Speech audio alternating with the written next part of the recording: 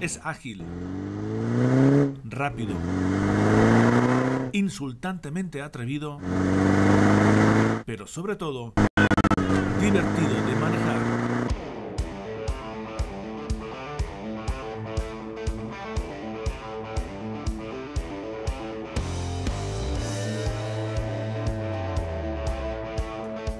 Es una de las leyendas urbanas por excelencia. Concebido en el asfalto de los circuitos de carreras, se ha convertido en un verdadero ratón de ciudad.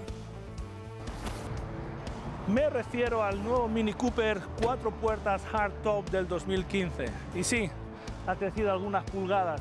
Algunos británicos le pican los ojos y les cuece el orgullo, diciendo que ya no es el Mini Cooper de siempre, que lo han alemanizado demasiado. Y sí, lo admito, es más grande, pero también es más potente, más moderno sigue provocando atracción compulsiva.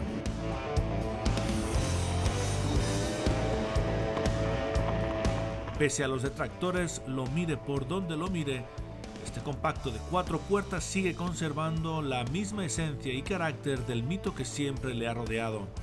Su exterior no ha perdido ni el encanto ni el estilo, simplemente ha madurado.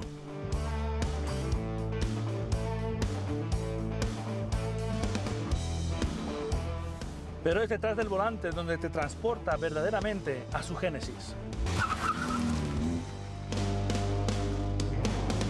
La experiencia Go-Kart, característica de Mini, una suspensión deportiva y una respetable aceleración harán que no quieras bajarte de él.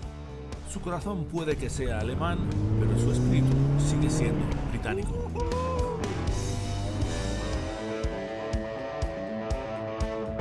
Desafortunadamente en este coche hay una cosa más que no es Mini y es su precio. Así que creo que voy a tener que ir pidiendo un aumento de sueldo, ¿no creen?